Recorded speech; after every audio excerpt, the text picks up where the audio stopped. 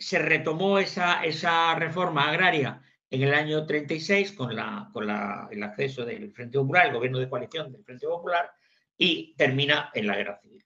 La, otra eh, reforma era la fiscal de Carner, que lo más interesante de Carner es el, impuesto complementario sobre la renta, que es un antecedente, digamos, del, del IRPF actual nuestro. Era solo para rentas altas y con tipos muy bajos, entre el 1 y el 7%. Por lo tanto, pero tampoco se desarrolló porque hay un cambio de gobierno en noviembre del 33, gobierna de nuevo la derecha y, eh, digamos, no aplica la reforma de Carter.